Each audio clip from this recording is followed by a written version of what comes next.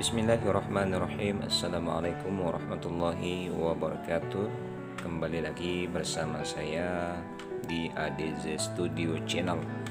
Channel tempat kita belajar bersama tentang berbagai hal. Nah pada kesempatan kali ini Masih berhubungan dengan video sebelumnya Kita akan membahas tentang modem. Di depan saya sekarang ini sudah ada sebuah modem Dengan merek Huawei. Modem ini bekas IndiHome ya teman-teman. Huawei dengan model atau dengan tipe HG8245H nah yang akan kita lakukan dengan modem ini seperti pada judulnya kita akan melakukan atau kita akan melakukan konfigurasi modem ini agar bisa dijadikan sebagai akses point untuk memperluas jaringan WiFi kita. Karena pada pada dasarnya pada settingan standarnya modem ini tidak bisa dijadikan sebagai sebuah akses point, maka kita perlu melakukan sebuah konfigurasi. Oke teman-teman, seperti seperti biasanya jika kita melakukan sebuah konfigurasi terhadap sebuah modem, kita perlu melakukan reset Nah, tujuan kita melakukan riset ini agar semua settingan-settingan yang ada di dalam modem ini ataupun modem-modem yang lainnya itu kembali bersih seperti semula seperti kita baru beli. Apalagi ini modem bekas ya teman-teman. Tentu sebelumnya banyak sekali settingan-settingan yang pernah dibuat di dalamnya. Maka kita akan lakukan proses reset terhadap modem ini agar settingannya benar-benar bersih Oke, kita langsung saja reset modemnya. Kita pastikan modem dalam keadaan posisi hidup. Kita, kita tancapkan lampu adaptornya. Nah, di sini lampu indikatornya pun sudah menyala. Kita tunggu sampai modem ini benar-benar hidup dengan sempurna. Itu ditandakan nanti dengan adanya lampu-lampu yang mulai menyala. Kita tunggu teman-teman.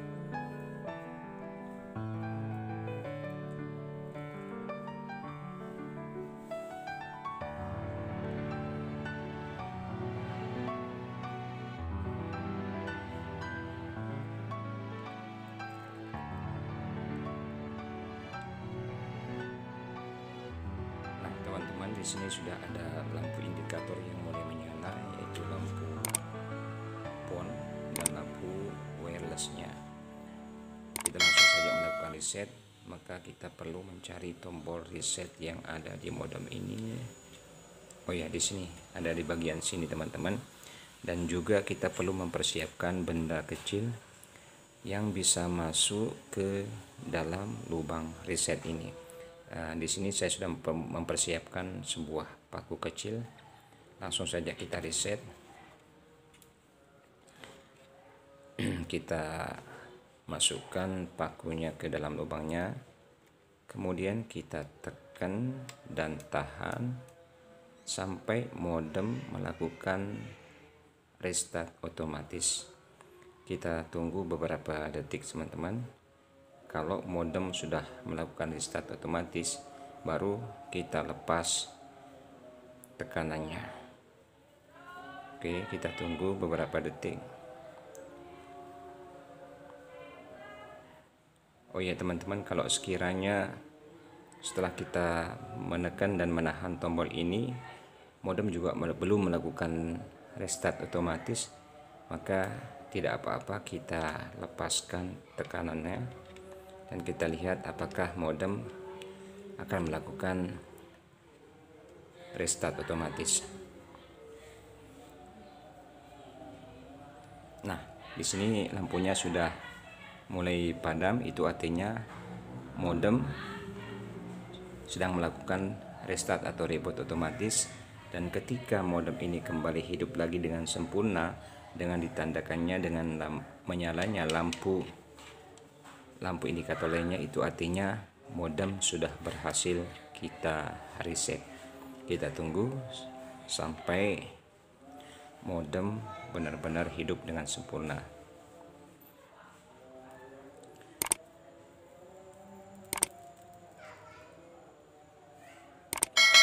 Nah, teman-teman di sini lampunya sudah mulai menyala kembali dan itu artinya modem sudah berhasil kita reset dengan sempurna.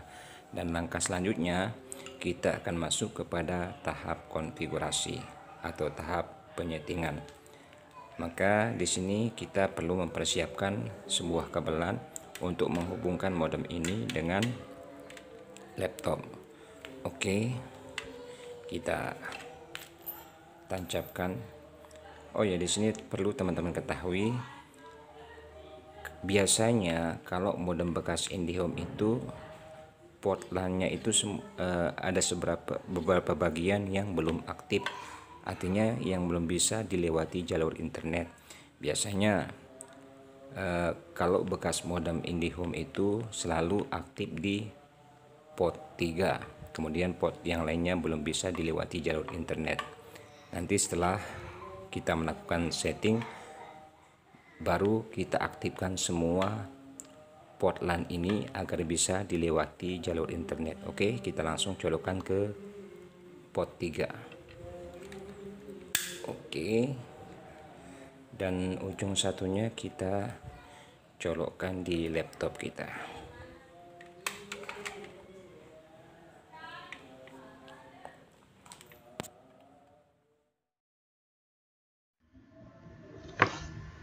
Baik teman-teman sekalian, setelah si modem berhasil kita hubungkan dengan laptop kita, maka di sini langkah yang pertama sekali harus kita lakukan adalah kita harus merubah IP laptop kita supaya satu segmen dengan IP daripada modem Huawei. Di mana kita ketahui IP default daripada modem Huawei ini adalah 192.168.100.1 maka kita perlu melakukan perubahan pada IP laptop kita dengan cara sebagai berikut. Kita klik di pojok kanan bawah pada menu icon internet kita klik kanan kemudian open network and sharing center kemudian change adapter setting. Pada bagian local area connection kita klik dua kali kemudian properties.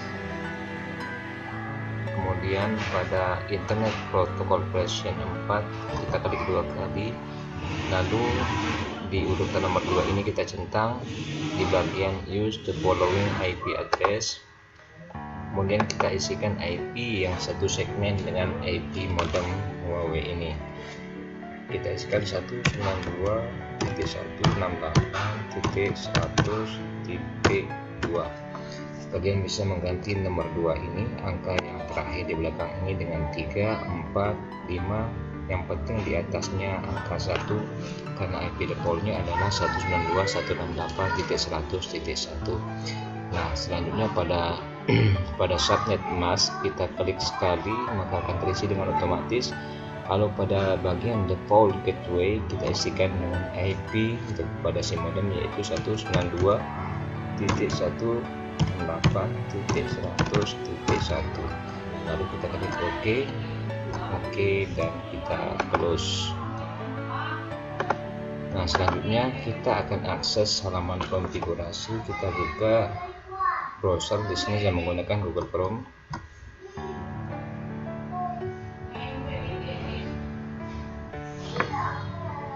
Kalian bisa menggunakan browser apa saja lalu kita isikan IP address daripada si modem yaitu 192.168.100.1 lalu klik enter.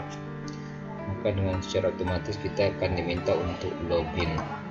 Nah teman-teman sekalian di sini perlu kalian ketahui sebenarnya untuk bisa login ke halaman konfigurasi sebenarnya ada beberapa akun yang bisa kita gunakan. Salah satunya adalah uh, akunnya admin passwordnya pun admin.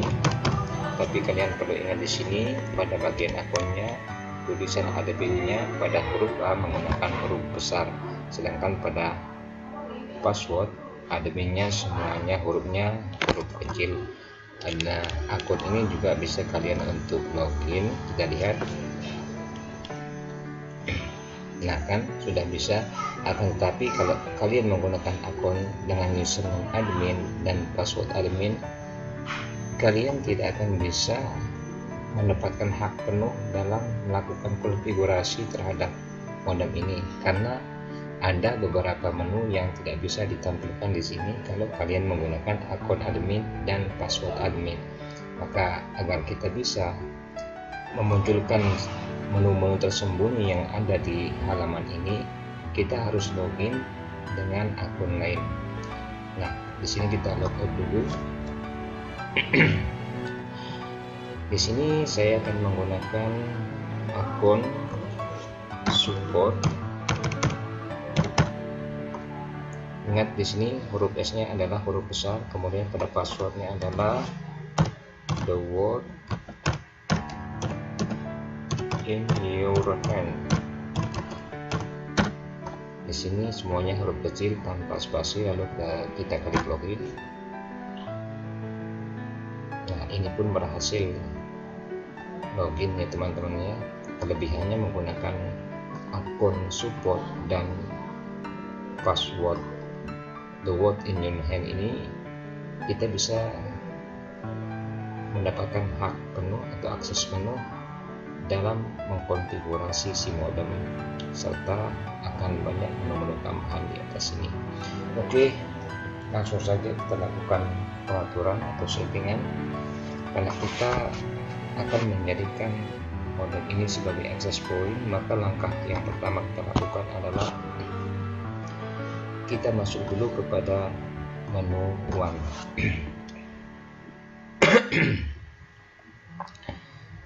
setelah menu one terbuka kita harus menambahkan koneksi baru. Di sini kita klik menu. Nah kita scroll ke bawah. Pada enable one kita biarkan tercentang seperti ini. Pada encapsulation mode kita pilih yang IPOE kemudian pada protokol tipe kita biarkan pada IPv4 pada one mode kita rubah menjadi bridge one. Kemudian pada service tipe kita pilih internet. Pada enable VLAN kita hilangkan tanda centang. Pada bagian binding option kita di sini masih belum bisa kita kasih tanda centang ya teman-teman. Nanti kita akan aktifkan. Untuk sementara kita biarkan tanda centang di SSID 1 dulu lalu kita klik apply kita tunggu. Nah di sini kita sudah berhasil membuat koneksi baru.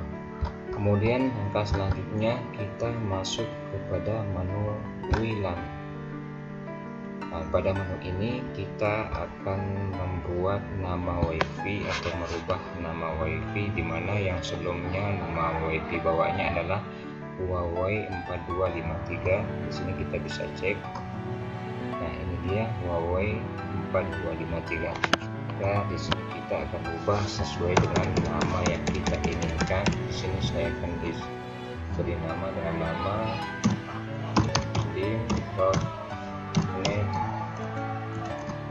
tsb kemudian pada enable SSID kita biarkan tanda centangnya jangan dihilangkan. Pada bagian broadcast SID biarkan tercentang kemudian pada enable WMM biarkan tercentang lalu pada bagian authentication mode karena modem ini akan saya gunakan sebagai access point mikrotik jadi tidak perlu password ya teman-teman atau tidak perlu terkunci. Jadi kita pilih open. Karena nantinya setiap yang terhubung ke wifi daripada modem ini wifi net ini akan diarahkan ke halaman login mikrotik oke selanjutnya kita klik apply. Kita tunggu. Nah nama WiFi sudah berhasil kita rubah atau kita buat kita lihat di sini apakah sudah muncul. Nah ini dia teman-teman. Sudah ada WiFi Cilimnet yang kita buat tadi. Baik teman-teman. Kalau sekiranya kalian mau membuat dua atau lebih nama WP yang akan dipancarkan oleh modem ini kalian bisa mengklik atau membuat baru dengan cara klik new kemudian pada SSID name kalian bisa isikan saja terserah seperti yang kalian inginkan. Di sini saya menggunakan tes saja.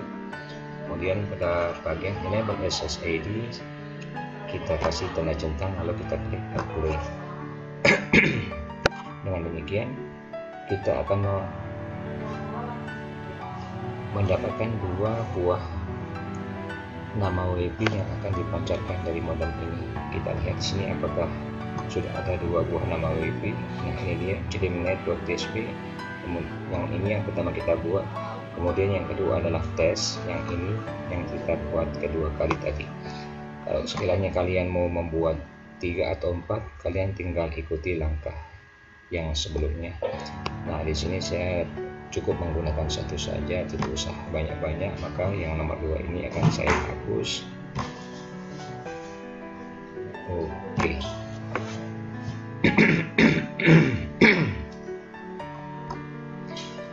Sampai tahap ini. Lalu kita lanjutkan ke masuk pada menu LAN ya teman-teman. Nah, di sini di sini pada semua LAN ini akan kita kasih tanda centang. Ini artinya kita akan mengaktifkan jalur internet di semua port yang ada di modem Huawei ini. Karena pada settingan defaultnya yang bisa dilewati jalur internet cuma di port 3 saja maka kita perlu mengaktifkan semua jalur internet dengan cara mencentang semua LAN 1 dan 2 LAN 3 dan LAN 4 kemudian kita klik apply. Nah kemudian pada LAN host configuration di sini kita akan rubah IP nya supaya satu segmen dengan IP address daripada mikrotik kita. Sebenarnya kita biarkan begini saja enggak masalah. Cuman untuk lebih memudahkan kita dalam remote modem ini nantinya maka kita perlu samakan IP mikrotik kita satu segmen dengan IP daripada modem ini. Nah, di sini misalnya misalnya kalau sudah 192.168.100.1 itu adalah IP mikrotik kalian maka di sini kalian tinggal ganti yang angka satunya menjadi 2, 3, 4 atau di atasnya angka 1 nah kalau misalnya IP mikrotik kalian adalah 192.168.100.10 maka yang perlu kalian ganti di sini adalah 192.168.10 titik 2 atau titik di atas angka 1 terserah kalian. Di sini saya akan biarkan menjadi 10 100 titik. Di sini saja yang perlu saya ganti titik 11 lalu pada bagian enable secondary address saya hilangkan tanda centangnya kemudian klik apply nah dengan demikian untuk masuk ke halaman konfigurasinya lagi maka kita perlu memasukkan IP 192.168.100.11 karena IP nya sudah kita ganti cek apakah dengan 192.168.100.1 masih bisa diakses? Nah tidak bisa teman-teman. Nah, karena IP nya sudah kita ganti maka ini pun kita ganti di sini menjadi 100.11 klik enter. Nah sudah berhasil IP nya kita ganti kemudian kita masuk lagi dengan user akun support di mana huruf besar S nya adalah huruf besar. Kemudian passwordnya adalah the word in your hand. Klik enter. Nah setelah masuk tadi pada one nya sudah kita setting. Ini dia kemudian pada wilayahnya sudah kita setting pada LAN-nya sudah kita setting. Kemudian selanjutnya adalah pada LAN host configuration sudah kita setting tadi. Nah ini dia sudah kita setting. Kemudian ini belum kayaknya ya akan masuk kepada DHCP server configuration. Nah di sini yang sangat perlu sekali kita harus mendisable DHCP servernya untuk menjadikan modem ini sebagai akses point maka kita hilangkan semua tanda centangnya karena nanti si modem akan mendapatkan DHCP otomatis dari mikrotik. Oke sudah kita hilangkan tanda centangnya. Kita klik play kemudian setelah itu kita masuk lagi kepada menuan agar semuanya agar semua port LAN terbinding dengan SSID atau nama WIP yang kita buat maka di sini kita perlu edit koneksi yang kita buat pertama kali. Kita pada bagian binding optionnya kita klik atau kita kasih tanda centang nah dengan selanjutnya kita klik play.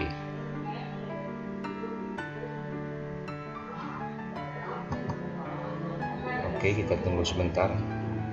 Yang sudah berhasil. Nah sebenarnya pada langkah ini langkah-langkah untuk menjadikan modem Huawei ini sebagai access point sudah berhasil kita buat. Akan tetapi di sini saya memberikan sedikit tambahan. Kalau sekiranya kalian mau melakukan settingan baru pada modem lain ya teman-teman ya. E, misalnya kalian ada modem lain yang sejenis dengan modem ini dengan modem Huawei ini kalian simpan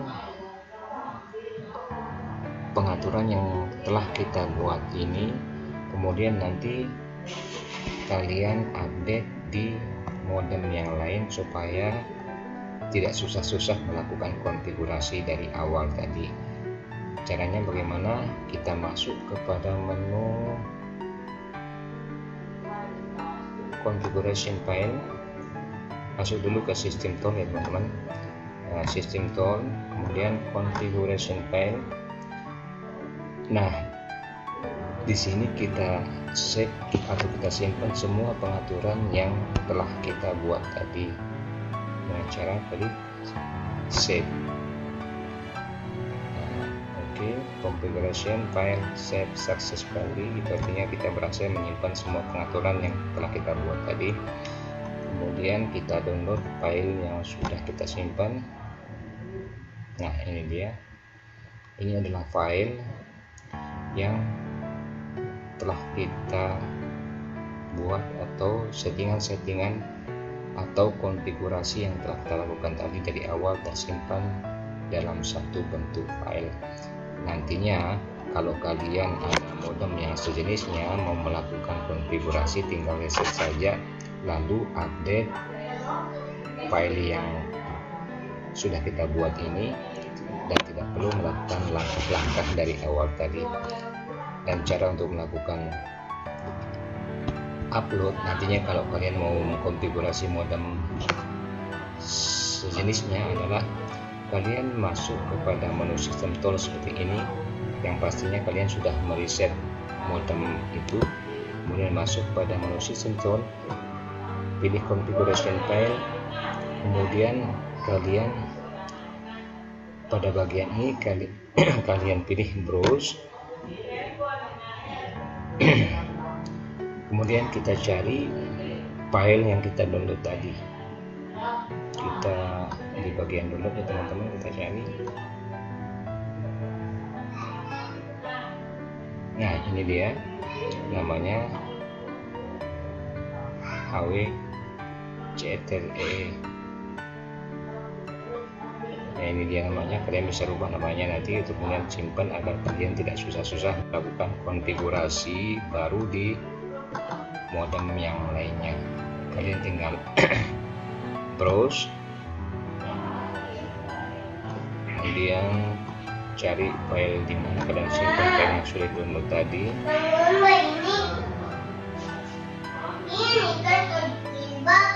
Nah ini dia. Kalian klik dua kali lalu update configuration file.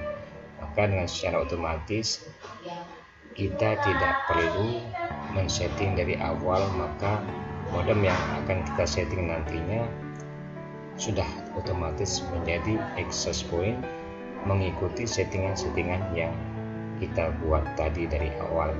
Oke teman-teman itu saja langkah demi langkah untuk menjadikan modem Huawei ini menjadi sebuah akses point. Semoga video ini bermanfaat untuk kita semua. Terima kasih telah menyimak. Sekian, Assalamualaikum warahmatullahi wabarakatuh.